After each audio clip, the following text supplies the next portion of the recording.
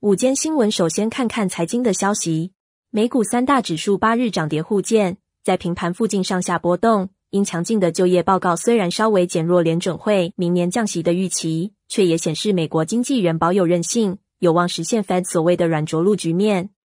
美国十一月非农就业报告比预期强，凸显劳动市场仍强而有力。由此可见，金融市场预期联准会明年三月将启动降息，实在言之过早。美国劳工部八日公布，美国十一月非农就业人口增加十九点九万人，高于路透访调经济学家预估的新增十八万人，但主因是汽车工人结束罢工，重返工作岗位所致。失业率从十月触及的两年高点百分之三点九降到百分之三点七，是七月来最低，反映更多人加入劳动力。经济学家原先预估可能持平在百分之三点九。平均时薪月比增幅为百分之零点四，比十月的百分之零点二升幅加速，也略高于经济学家预期的百分之零点二。年比增幅百分之四点零则符合预期。最新就业报告出炉后，经济学家大多认为，十一月就业人数扩增早在意料之中，主要反映全国性罢工落幕，不至于促使联邦公开市场操作委员会下周升息。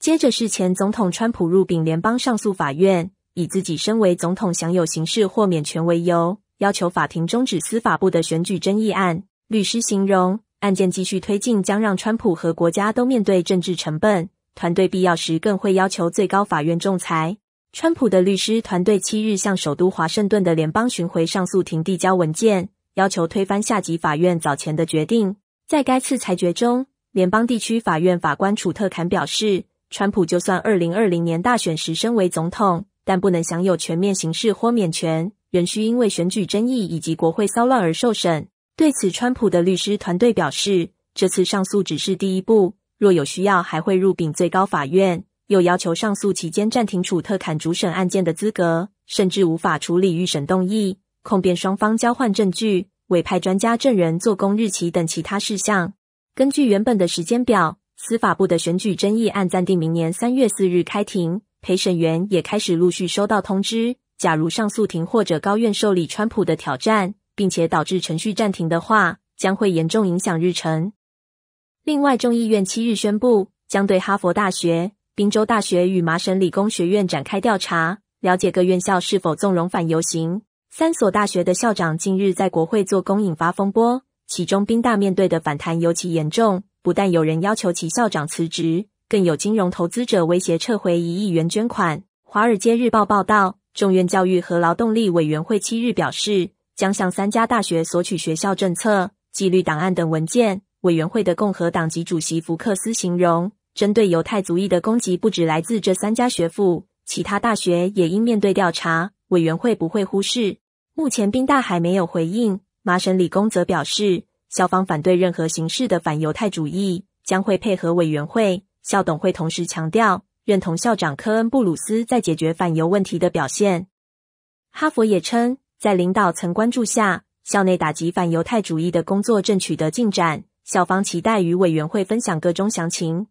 接着，多名消息人士透露，乔治亚州富尔顿县检方已在选举争议案中将前副总统彭斯列为证人，开庭后可能传召他出庭。由于彭斯在二零二零年选举至二零二一年一月国会骚乱期间扮演关键角色，外界关注他会否做工，以及在供词中是否会披露重大内情。来自媒体的报道，虽然富尔顿县检方至今将证人名单保密，但不同消息人士证实，一百五十名控方证人中包括彭斯。值得注意的是，彭斯早前曾经承诺，若有联邦案件需要他作证，他愿意遵守法律配合。但这次案件来自乔州。因此，他仍有拒绝空间。截至发稿时，彭斯的发言人和富尔顿县检方均拒绝回应。前总统特朗普因为二零二零年大选争议以及二零二一年国会骚乱，正同时面对司法部和乔州的刑事检控。彭斯已在司法部的案件中接受联邦大陪审团问话，但尚未牵涉乔州的案件。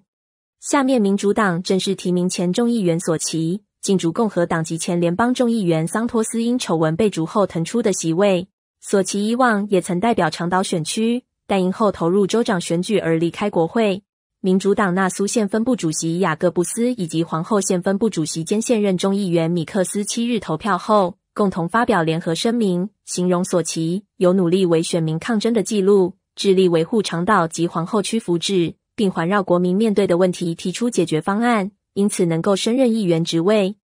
索奇曾经三届代表长岛，去年离开国会参选纽约州长，但在民主党内的初选阶段败给现任州长胡楚。本身在党内有一定知名度，出现几乎毫无悬念。而他早前与胡楚会面后，也冰释前嫌，夺得提名后得到对方祝贺。最后是来自德州的消息：一名德州法官七日颁布临时禁制令，准许一名胎儿被诊断有致命疾病的孕妇在德州堕胎。来自德州达拉斯地区，已生养两个孩子的三十一岁母亲考克斯向法院请求颁布临时禁制令。据信，这是自联邦最高法院去年推翻罗伊对韦德案以来，首次有女性要求法院批准堕胎。身为民主党人的德州地区法官甘布尔颁布 L 临时禁制令，阻止德州对考克斯施加堕胎禁令，为期十四天。不过，此禁制令仅适用于考克斯及其律师。在谨慎的谈及此禁制令可能引发更广泛影响后，甘布尔称，许多寻求堕胎的女性因此而求助于法院是行不通的。德州总检察长共和党人帕克斯顿事后发表的声明虽未说是否提出上诉，不过他在给休斯顿三家医院的信中警告说，如果考克斯的医生提供堕胎服务的话，依然可能需承担法律后果。这就是带给大家今天我们的午间新闻，也谢谢朋友们的收听了。稍微休息一会儿，欢迎大家继续收听我们接下来的节目。Música